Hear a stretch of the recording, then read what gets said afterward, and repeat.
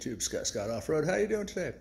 Well, it's been a while. I've been pretty busy. Did a remodel project on the house, and then getting the Jeep ready for a Jeep trip, and building a Jeep trailer to go along with it.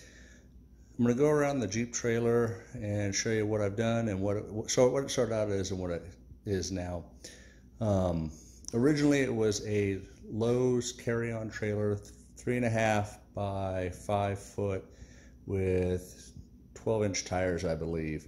Um, got a great deal on it. It was on sale and then military discount on top of that. So I really did pretty well. Um, I did think about building it from scratch, but what I came up with in doing that was the axle, the hubs, um, the suspension, the lights, the coupler, everything, all the individual parts without the metal ended up costing more. Mosquito than purchasing the trailer. Now, granted, with the trailer, I had to do a lot of work to it, but um, got it home. I was using it. I was running out of time for the Jeep trip, so I was afraid I was going to have to take it on the trip without modifying it. But I was able to make some time up on it and get some work done to it. The idea is eventually when I go on trails, I want to be able to tow this behind the Jeep and not have any problems with it. I also want to load the kayaks and the paddleboard on it and have that whenever we want to go to the lake or ponds and go um, kayaking. I'll interject some pictures in here and see if I can get edit them all together. But basically what I did was I cut the axle in half and put a solid steel rod inside drilled holes in the axle tube and plug welded everything together, then welded around the seam where they go together. And that stretch gave me the actual width I needed for the wheelbase. Then, while I had it out, I cut the perches off the axle tubes, spun them over so I could do a spring over. The axle I originally thought was straight. It's actually bowed for weight distribution.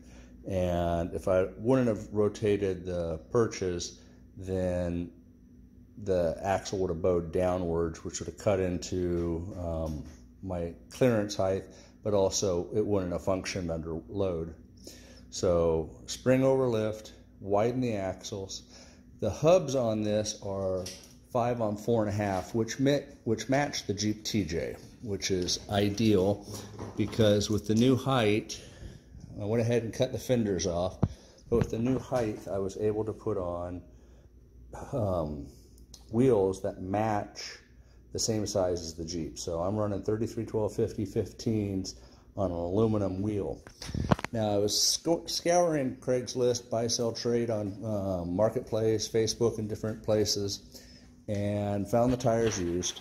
And but I couldn't find wheels. And then I believe 4WD had the wheels on sale for $60 a piece delivered.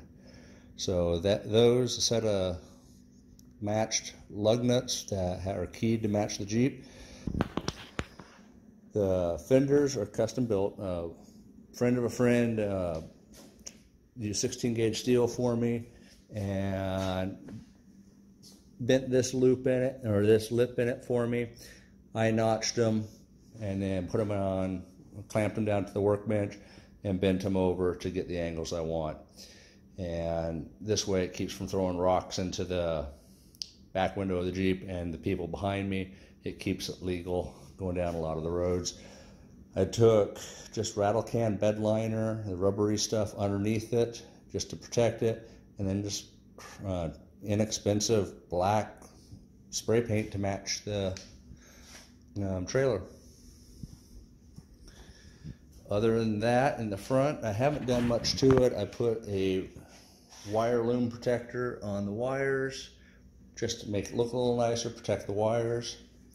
I went to a local farm and garden stop uh, shop and bought this rubber mat because the floor is just mesh. I wanted to add some protection for anything inside. Um, I like the looks of it. I like the way it functions. The one issue I'm still struggling with is, you can kind of see a little bow in this front corner here, but I cut this to fit on a cool day and then it sat out in the sun and expanded. So I trimmed it again and it still it cooled and then it was a little too small, but then the next day it was hotter, so it got even wider. So I'm just still struggling on getting it to the right side size. The tailgate's a liftoff. Uh, just uses these little pins to hold it down. And I just used some paracord, tied it up so I don't drop these pins because I know me, I would drop them and lose them, and that would just suck. There it is. So the paracord just, one, makes it easier to pull off, but two, I don't drop it. And then on the back, I went ahead, I didn't like the license plate underneath the light where it's supposed to go, so I put it in the center of the tailgate and then did the Scott Off-Road logo and mounted an axe on there.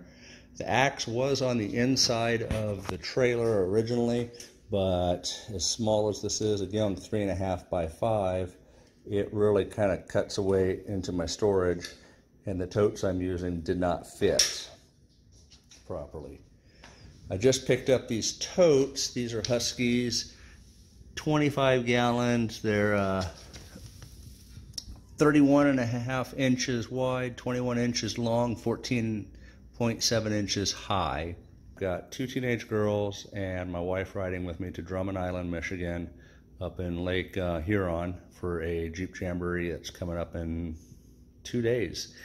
So what we gave each of the girls a small tote on the 15 gallons and said, that's what we got. That's make sure all your stuff fits in it. And then the wife and I each have a larger tote. I'm going to share my tote with uh, life jackets and some tools. My wife will have hers for a little bit of overflow. Um, on the way back, we are stopping Mall of America, so I, I'm, I'm not stupid. The girls are going shopping, so I may be stacking totes and getting more. But the illusion is, well, they can fit whatever they have, and whatever they buy has to fit in their totes. So we'll see how that works out. But so we'll see how this works out. Um, again, it's a Lowe's three and a half by five trailer. It's been lifted with a spring over lift and 33 12 50 15 tires on aluminum wheels. And really, that's about all I've done to it. So the idea here is that again, I'm going to lengthen the tongue eventually and I'm actually going to put an adjustable tongue on it so I can keep it short when it needs to be short and then lengthen it up when I'm pulling the kayaks. Right now the kayaks are kind of dirty. They stack quite nicely and that's how I've been carrying them and they fit okay but I want to do something a little bit better and a little bit conducive for not wearing out the kayaks and rub marks. But so that's the three and a half by five build.